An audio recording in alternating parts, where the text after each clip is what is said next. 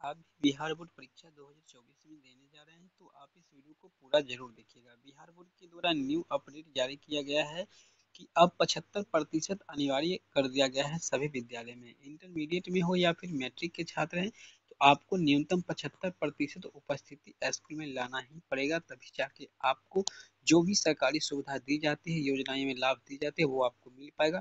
साथ ही परीक्षा में से संबंधित इसमें क्या जानकारी दी गई है तो यहाँ पे आप लोग आसानी से पढ़ सकते हैं, देख सकते हैं कि एतज द्वारा राज्य के माध्यमिक एवं उच्च शिक्षा, माध्यमिक स्तर के मान्यता प्राप्त शिक्षण संस्थानों के प्रधान शिक्षा छात्र, छात्रा एवं उनके अभिभावक, जिला कार्यक्रम पदाधिकारी, सभी जिला शिक्षा पदाधिकारी, सभी क्षेत्रीय उप निदेशक और सभी जिला पदाधिकारी को सूचित किया जाता है कि बिहार विद्यालय परीक्षा समिति द्वारा आयोजित माध्यमिक इंटरमीडिएट वार्षिक परीक्षाओं में वही विद्यार्थी सम्मिलित हो सकते हैं। यहाँ पर देख सकते हैं, वही विद्यार्थी सम्मिलित हो सकते हैं जिनकी उपस्थिति न्यूनतम पचहत्तर प्रतिशत रही हो।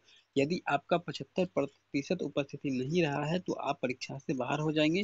तो इसके लिए आपको क्या करना होगा? अब सभी विद्यालय को अटेंडेंस में पचहत्तर प्रतिशत पुराना अनिवार्य हो गया है।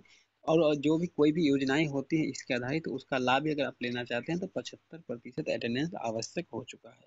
तो अब आप लोग को बता दें कि अगर आप लोग दो हज़ार चौबीस में बोर्ड परीक्षा देंगे तो इसके लिए विद्यालय डेली जाएँ और ये कब से कब तक होगा? तो यहाँ पर देख सकते शिक्षण शुरू करने के दिन से लेकर के उस महीने से पहले महीने की पहली तारीख तक जिसमें स्कूल बोर्ड परीक्षा शुरू होती है कि अवधि में कम से कम पचहत्तर प्रतिशत उपस्थिति होना अनिवार्य है। तो आप जब से शुरू किए हैं तब से परीक्षा देते अंतिम दिन तक आपका जो है यहाँ पे जुड़ा जाएगा, ठीक है ना?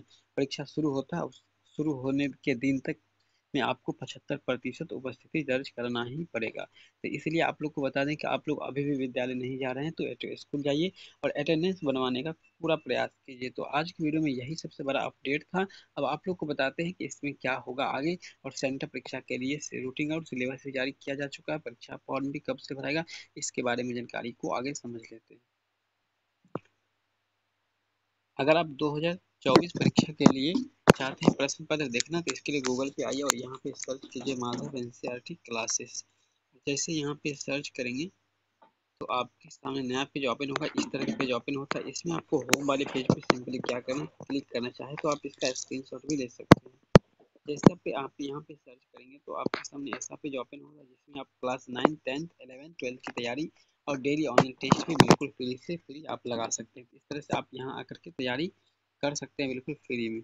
और नीचे आप देखेंगे तो बहुत सारा अपडेट आपको यहाँ पर देखने को मिल रहा है, ठीक है? तो यहाँ पर देखिए परीक्षा फॉर्म भराने के संबंध में आपको जानकारी दी गई है। बिहार बोर्ड फॉर्म दो वहीं सेंटर परीक्षा की बात की जाए तो सेंटर परीक्षा के लिए भी आपका जो है यहाँ पे सब कुछ जारी कर दिया गया है। तो सेंटर परीक्षा के लिए आपको क्या करना है? यहाँ पे आपको आ जाना है और यहाँ पे सर्च बटन में सर्च करना है। बिहार बोर्ड सेंटर परीक्षा।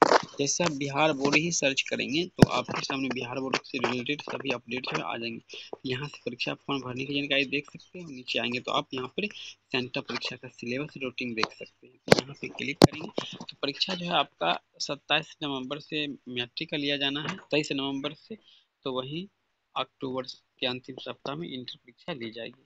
आज के वीडियो में यही अपडेट था। सबसे बड़ी यह वीडियो आपको कैसा लगा, कमेंट करके ज़रूर बताइएगा। अगर वीडियो पसंद है, वीडियो को लाइक, चैनल को सब्सक्राइब अवश्य करें। धन्यवाद।